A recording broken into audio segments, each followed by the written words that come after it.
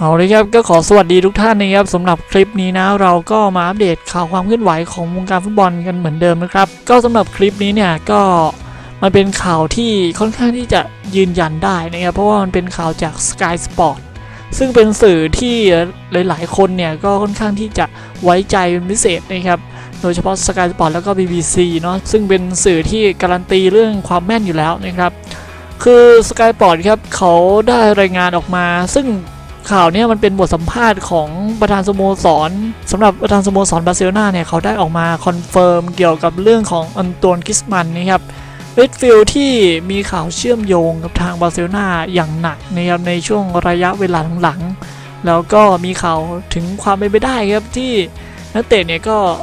เตรียมย้ายมาร่วมทีมหลังจากจบฤดูกาลนี้ด้วยนะ คือทางประธานสโมสรบาร์เซโลนาครับได้ออกมายืนยันว่าสโมสรบาร์เซโลนาเนี่ยได้เจอแล้วก็ได้เข้าพูดคุยกับทางเอเย่นต์ของทางอองตวนกรีซมันน์มาตั้งแต่ช่วงเดือนตุลาคมปีที่ผ่านมาแล้วนะครับ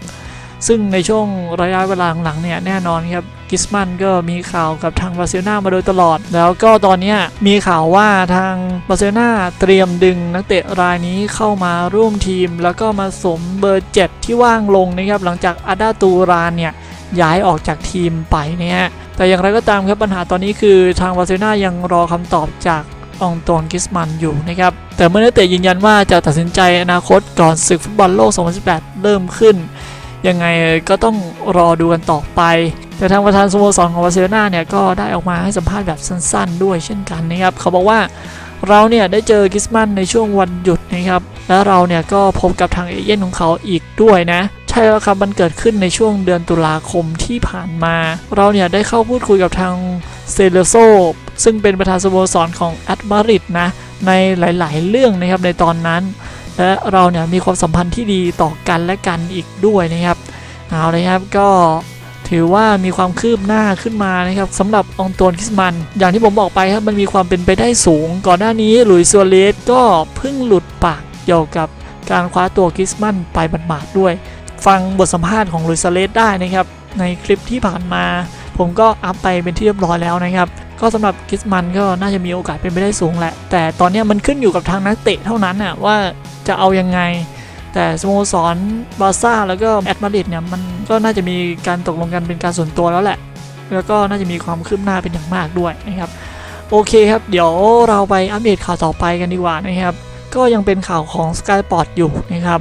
ที่ได้รายงานออกมา แต่ข่าวนี้เป็นกุนซือใหม่ของทางอาร์เซนอลกันบ้างนะครับ ก็แน่นอนแหละว่าอาร์เซนอลต้องหาผู้จัดการทีมคนใหม่เข้ามาแทนอาร์แซนเวนเกอร์นะครับ เขาได้รายงานออกมาว่าทางอาร์เซนอลมีความต้องการที่จะทาบทามอัลเลกรีแล้วก็หลุยส์เอ็นริเก้นะครับมารับตำแหน่งผู้จัดการทีมคนใหม่ของทางอาร์เซนอลในฤดูกาลหน้า ใครคนใดคนหนึ่งนะ ก็ไอ้นี้ต้องขึ้นอยู่กับทางแฟนบอลอาร์เซนอลครับ ชอบใคร เพราะว่า Sky Sport รายงานมาประมาณนี้ ซึ่ง ผมก็บอกไปแล้วว่า Sky Sport เป็นสื่อข่าวที่ค่อนข้างที่จะแม่นยำพอสมควรนะครับแต่ก็ไม่ใช่ว่าจะไม่มีความผิดพลาดนะ เพราะงั้นตอนนี้แฟนบอลอาร์เซนอลก็น่าจะได้รู้แล้วแหละว่าใครเป็นตัวเต็งนะครับที่จะเข้ามาคุมทีมที่อาร์เซนอลให้ความสนใจ ถ้าเทียบกับเมื่อ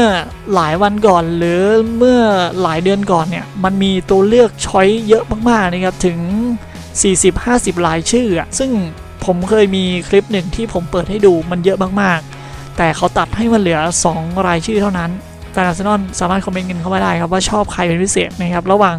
เอลิเก้แล้วก็อเลกีนะครับสำหรับอเลกีก่อนแล้วกันนะครับอเลกีเนี่ยเป็นผู้จัดการทีมยูเว่ณปัจจุบันนะแล้วก็สามารถคว้าแชมป์ซีรีส์อาอิตาลีได้ถึง 4 ปีซ้อนด้วยกันนะครับแล้วก็รวมใน season นี้ด้วยนะ และแถมผู้จัดการทีมคนนี้ครับก็ยังเหลือสัญญากับทางยูเว่อีก 2 ปีด้วยเช่นกัน ก็อาจจะต้องใช้เงินมากกว่าสมควรนะครับเพราะว่าสัญญาของอัลเลกรีเหลืออยู่ 2 ปีก็ไม่น่าจะถูกนะครับ แล้วก็หลุยส์เอ็นริเก้ครับณเวลานี้ก็กำลังว่างงานอยู่นะครับ หลังจากที่แยกทางกับทางบาร์เซโลนาเมื่อจบฤดูกาลที่ผ่านมา พร้อมผลงานตอนที่เขาคุมทีมบาร์เซโลนาเนี่ย ก็กวาดไปทั้งหมด 9 trophy แชมป์ด้วยกันนะครับ ในช่วงระยะเวลา 3 ปี ระหว่างปี 2014 จนถึง 2017 รวมทั้งแชมป์ลาลิกาสเปนอีก 2 สมัย แล้วก็โคปาเดลเรย์อีก 3 สมัย และรวมไปถึงยูฟาแชมเปี้ยนลีกอีก 1 สมัยด้วยกันนะครับ ก็ประมาณนี้แล้วกันนะครับสำหรับข่าวที่ออกมา ส่วน list รายชื่ออื่น อาจจะมีพวกมิเกลอาร์เตตานะครับเบรนแดนร็อดเจอร์สคาร์โลอันเชล็อตติ ก็ประมาณนี้ รวมไปถึงหลุยส์ฟาเลีย หรือว่าบูวัตผู้ช่วยของทางเจอเกนครอปก็มีความเป็นไปได้เช่นกัน แต่ว่าตอนเนี้ยตัวเต็งเขาคัด ให้มาเหลือ 2 รายชื่อเท่านั้นนะครับ ก็ไม่รู้ว่าแฟนบอลอาร์เซนอลพอใจแค่ไหน แต่สำหรับตัวผมผมคิดว่า คือใครก็ได้นะ เพราะว่าเป็นสุดยอดกุนซือทั้งคู่ แต่ถ้าเกิดอยากให้เข้ากับระบบอาร์เซนอลเนี่ยผมคิดว่าน่าจะเป็นลุยเอเลเก้มากกว่านะนะครับแต่มันก็มีความยากในการทาบทามทั้งคู่นะครับเพราะว่าต้องใช้งบหนักทั้งคู่อยู่แล้วนะครับแล้วก็รวมไปถึงเตรียม งบให้2คนนี้ไว้ใช้ด้วยครับ มันก็น่าจะเป็นเรื่องที่อาร์เซนอลต้องคิดหนักมากๆนะครับ โอเคครับ ก็รอดูแล้วกันนะครับสำหรับ 2 ข่าวที่น่าเชื่อถือมากๆนะครับ จาก Skyport สำหรับคลิปนี้มีเพียงเท่านี้แล้วกันนะครับ ก็สามารถคอมเมนต์กันเข้ามาได้นะครับ อย่างที่ผมบอกไป